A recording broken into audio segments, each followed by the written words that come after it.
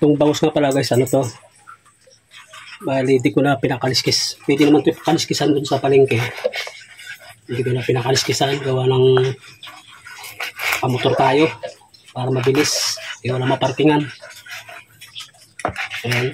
Kaya, bali ang biyara ko dito, is, imbis na 90, 80 na lang. Sinukyan ako ng 20.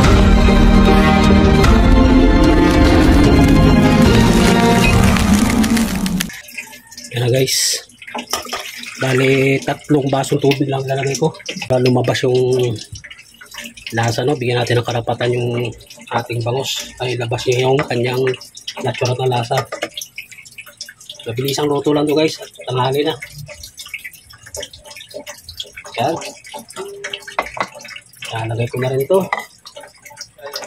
Nahinto guys kasi may nanghingi ng ano, plastic bottle.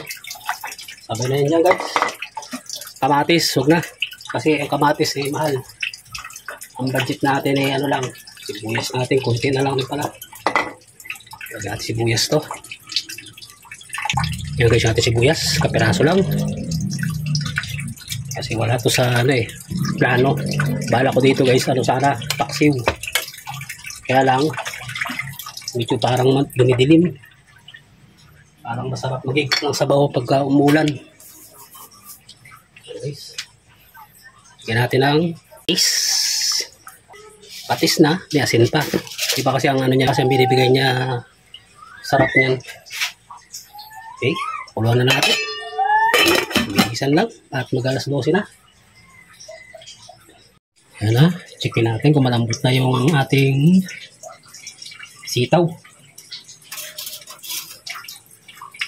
Guys, natural na luto lang naman to. Siguro nagawa nyo na rin to nasa panahon lang kasi guys. Masarap talaga ang sinigang. Malambot na. Malambot na yung sitaw. Masarap ang sinigang dahil na kapag umulan masarap humigop ng sabaw na masin-asin. So guys. Itong sinigang na to malamang baka nagawa nyo na. Natikman nyo na rin to. Yan talagay na natin guys yung ating kamote no? Talbos ng kamote yung kangkong kasi. Kita ko doon pangit. Pangit yung kanyang talbos so kamuti na lang yung binili ko. Pagkakulo niya okay na yan. Kain na tayo. Medyo matabang. Ilagay natin ng asin. Kasi lalagay ko na rin yung ating pampasin. So guys sinigang with gabi na lang yung aking ilalagay kasi ito yung available natin oh. para lumapot ng konti yung sabaw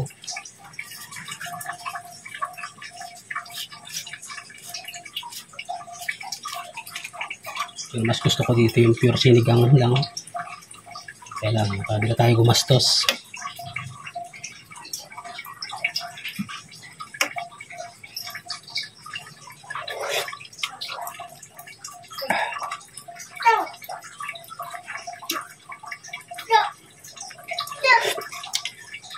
Okay na yan.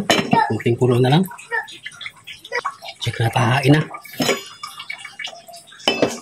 Ayan. Tuho na guys. Oh. Wow, sarap.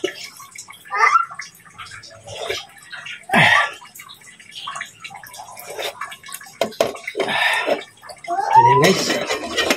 Maraming maraming salamat sa inyong panonood. Ayan. Tapos na yung ating sinigang sa ano, sinigang na bangus. Ayan, kain tayo guys. Maraming maraming salamat po sa inyong lahat. God bless po. Ingat po tayong lahat. Bye-bye.